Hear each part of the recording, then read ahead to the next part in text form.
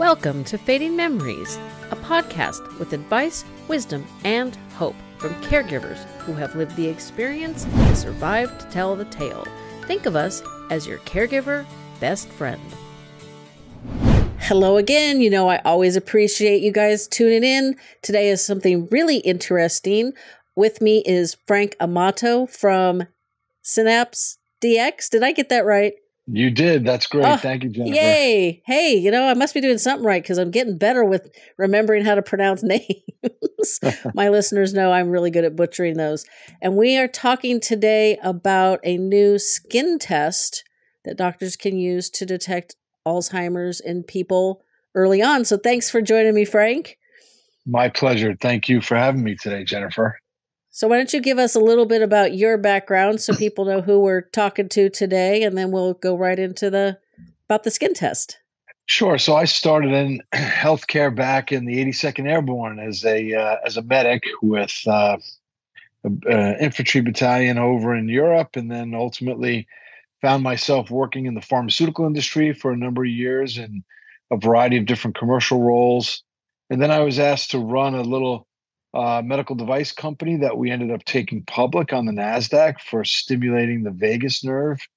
Um, and then ultimately, I decided to, to spend the rest of my career, hopefully, working on neurodegeneration, the one area in the 30 years that I've been involved doing this that we've made little headway. You know, conditions like ALS, conditions like Alzheimer's disease, uh, to some degree, Parkinsonism, uh, MS, and so forth. So the area that we focus in at Synapse DX is helping doctors definitively diagnose Alzheimer's disease. Well, that sounds that sounds like a very interesting career, and you didn't choose a very easy path for the the latter half of said career, but I, I applaud you. So, how um, can early detection of Alzheimer's help doctors and patients and family caregivers like myself? Well, we know from the literature that when a when a doctor diagnoses dementia, which they typically use a psychometric test to do that, it's a mini mental exam or a MoCA test that they use uh, in their practice with a patient. Um, that once they diagnose dementia, their ability to diagnose Alzheimer's disease, whether Alzheimer's disease is the cause of that dementia, is about the flip of a coin. It's not until the patient gets out to, say, years seven, eight, nine, that the clinician's ability to diagnose that condition really gets much better. It's it's above 80% at that point in time. But diagnosing it early is really where the benefits come in. There, there have been countless studies published that lifestyle changes like physical exercise, mental exercises, um, even diet can have a profound impact on one's ability to, you know, start to thwart that cognitive loss as they are, are diagnosed with these conditions. So getting diagnosed early is very important because you could do things like lifestyle changes, uh, become more socially interactive, and the like to really to really help yourself there. The other thing is it's really good to know what your condition is early on so you can plan to spend time with family, to do some financial planning, to do some of the things I think we all tend to do, which is, you know, we'll get to it someday. Um, so I think that's important. And then lastly, there are new drugs that are coming that have just been FDA cleared.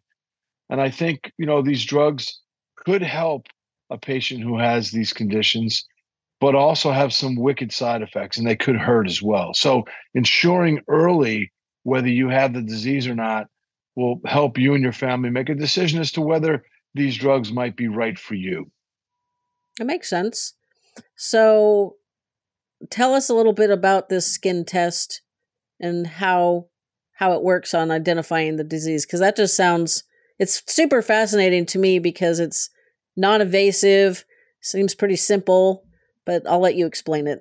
Sure. So, um, Dr. Daniel Alkon, who uh, was trained at Cornell you know many many years ago, uh, left his psychiatry practice, joined the National Institutes of Health because he was really interested in what creates memory, why do I have these patients who had traumatic experiences as children and then later in life, even midlife, some might even, you know, take their lives um, uh, through suicide, and yet it's all because of all these memories that they they keep over the years. And as his work evolved, he became a program chief at the National Institutes of Health down in Bethesda, Maryland, and um, it was really, you know, this identifying that you know the memories really lie in the synapses in your brain and when those synapses erode or are lost then you lose those memories and you start to see this progressive cognitive decline so dr alkon had spent multiple decades kind of studying this work in animals so preclinically and then jay rockefeller you may recall the u.s senator out of west virginia uh, his mother Blanchette had passed away from Alzheimer's disease, and he started the Rockefeller Neuroscience Institute. And he then took Dan Alkon, uh, recruited him out of the NIH to come and take the preclinical work that Dan developed and start to use it in humans. And one of the things that they decided to do when they were testing the various ways you may try to find this disease in the body was they used blood and they found that blood was is really not very stable. There's a there's an enzyme in the body that starts to eat away at the proteins associated with Alzheimer's disease very rapidly. So to get a blood sample back to a lab somewhere and actually test it and be confident that it would work for identifying the disease was a challenge. So they started to use skin and they found that skin was a very stable platform for looking for disease and Dr. Alkon had opined that you know um, maybe Alzheimer's disease is not a is not just a brain disease. Maybe it's a, a systemic disease that affects different parts of the body. And what he found is much like the synapses stop networking and, and aggregating in the brain together, the same thing happened when you took a piece of skin, a very small piece of skin, a three millimeter skin punch. It's almost like taking blood. Um, using that piece of skin to then try to find these proteins. We test for two different proteins and we also image the skin as it grows over time. So we cell culture it. And we found that it, it that the Alzheimer's disease patient's skin doesn't network very well, doesn't aggregate very well, much like the synapses in the brain. And we were also able to find the proteins in the skin. So that's how a skin test was developed for looking for Alzheimer's disease. I never knew the skin like communicated with the rest of your body. I guess that makes sense. Yeah, you know, it's funny. It's uh, the uh, the biology of memory, uh, which is finding, for the most part, a protein called PKC epsilon, and other proteins in the in the body that are, are a ratio. They're inflammatory proteins, ERK one and ERK two. When you look for those. You can find them throughout the tissues in the body, including in the skin. So, actually, what we can do with a piece of skin is we can mimic the biology of memory, of what's happening in your brain by finding those biology in your skin. That's fascinating.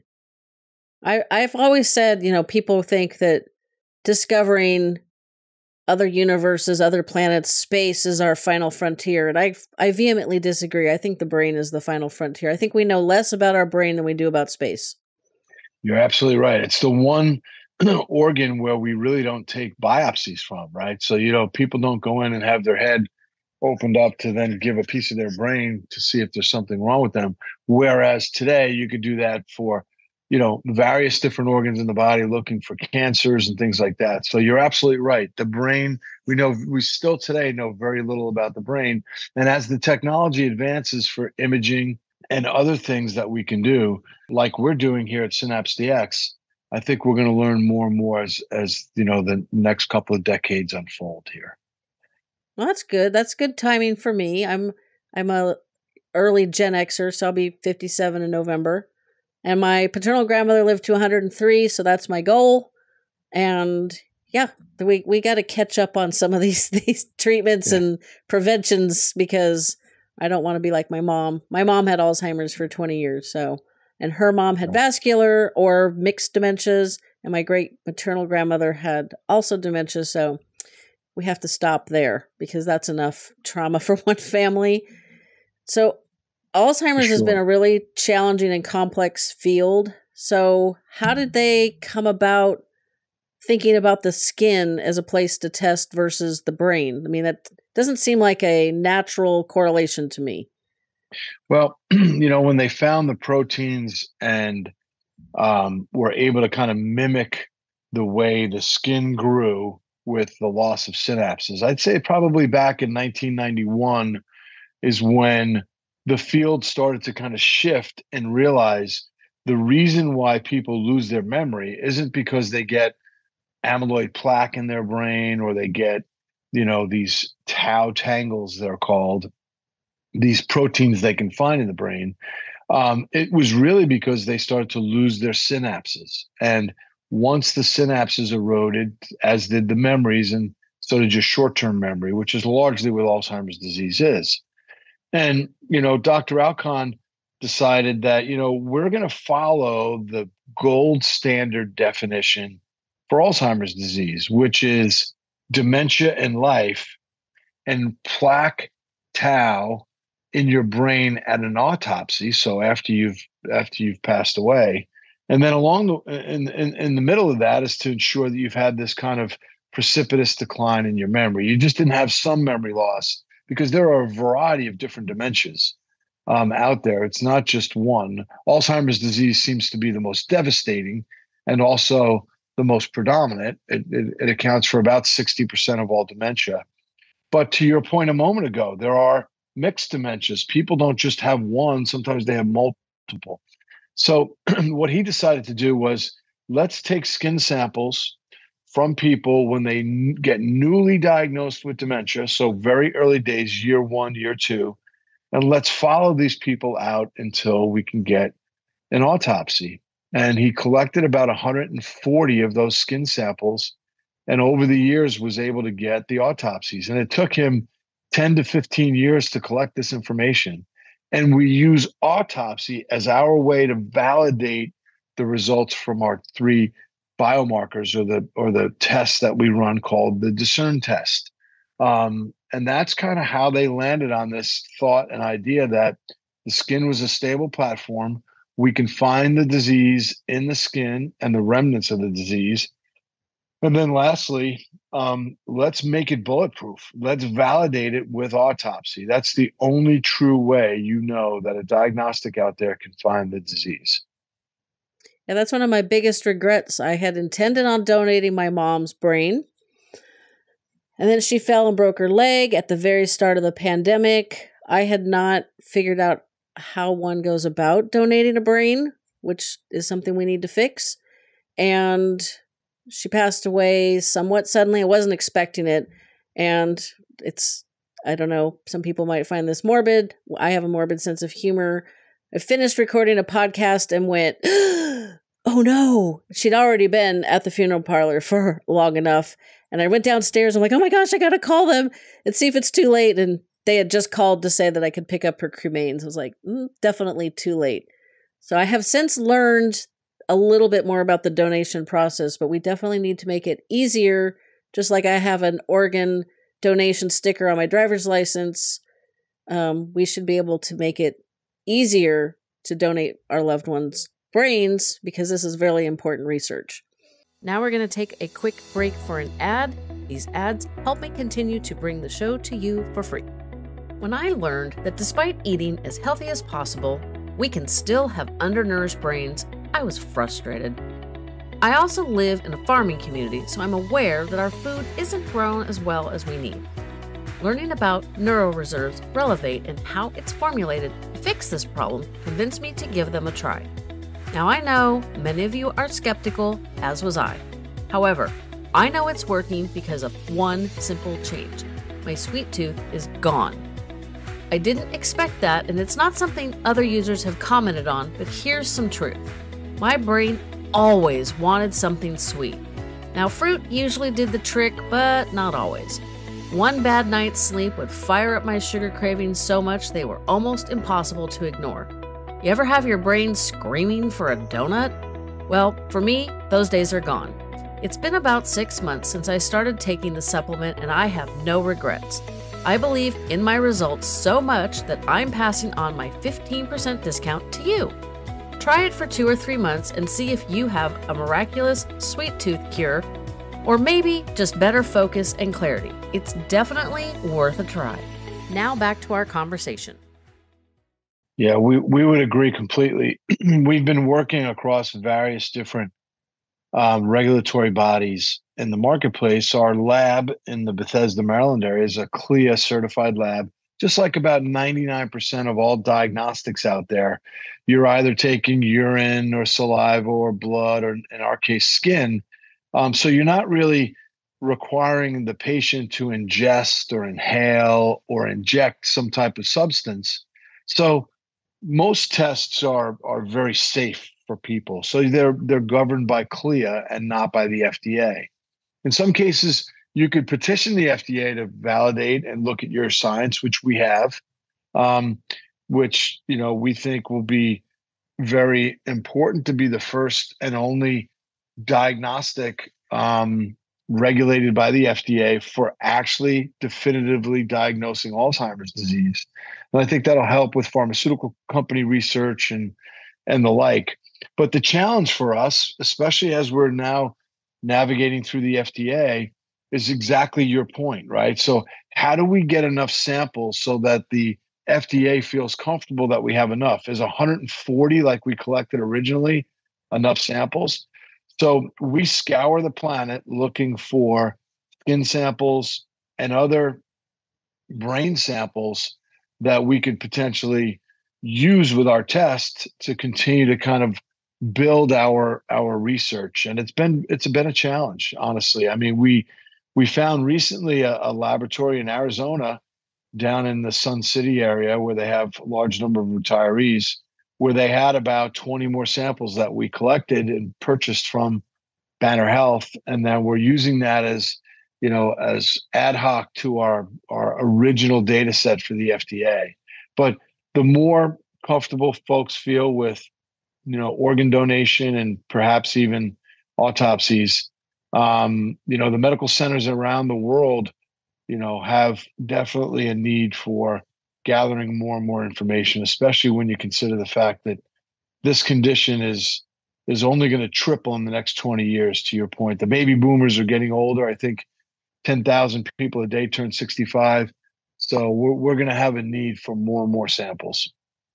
So i understanding loosely the process to donate a brain like i'm not far from ucsf which has a really good memory center that's not exactly what they call it but close enough um, I would contact them and say, you know, my mom was diagnosed with Alzheimer's. I would like to donate her brain um, after her passing. What's your process? So I have to kind of do all the legwork. Is that pretty much how it works?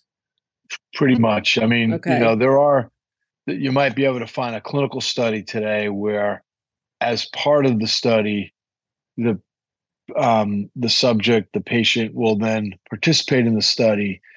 And as an ending of that study is they may you know also consent to having an autopsy done and having their you know brain used for science. Um, but you are correct. You you have to contact your local you know academic center teaching hospital typically and see how you might go about you know contributing to science so to speak which probably never gets into the top five of your to-do list Exactly the point, right? You're like me and you keep saying, I got to do that, I got to do that. And then, oops, too late. So it sounds to me like a skin test is fairly mm. safe. Are there any significant risk factors people should know about or any ethical considerations physicians should consider before performing the test? Seems um, seems a lot safer than like a lumbar puncture. Oh yes, it would be a lot safer than a lumbar puncture, or even in some cases, uh, physicians might request that you have a PET scan done where you have to ingest radio labeled dye, which is a radiated substance, and those that radiation lights up the the remnants in your brain that they're looking for, and then they scan it. So um, ours is pretty straightforward. You could even have a primary care physician or even a mid-level like a nurse practitioner or a PA just take a small piece of skin in the upper inside of your forearm.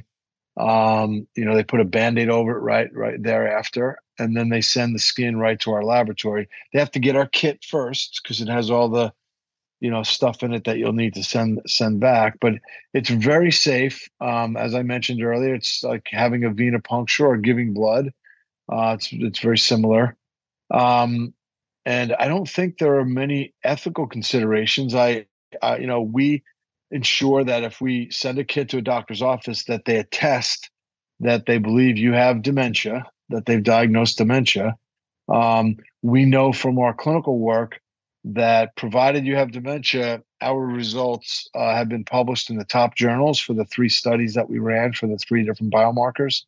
So um, we feel very confident and have shown, you know, in hundreds and hundreds of samples uh, commercially, not even in our research. We're selling the test today. And um, with that being said, um, as long as you have a dementia diagnosis, we're very comfortable that the doctor's results are going to be you know highly accurate so that would be the only ethical consideration is are you actually diagnosing dementia in these patients because if you get results from us um, those two should go hand in hand that makes sense and to me it seems highly beneficial that a general physician nurse practitioner physician's assistant can provide or no um, perform the test because there's more of them than the specialists, and it's one less barrier to getting a diagnosis.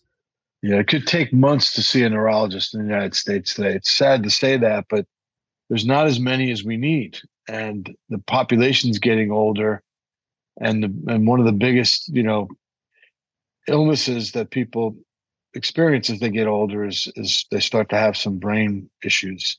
Um, so to your point, yes, you know, a primary care physician can do that.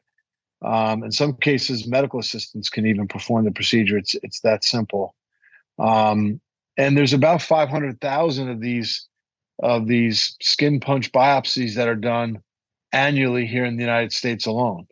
Um, wow! So they're they're used number. for yeah they're used for a variety of different reasons. Mostly dermatologists who do it, but we show a physician a three minute video to remind them of what they were taught to do back in medical medical school and they and they jump right back on the on the bicycles if they were have been riding it all along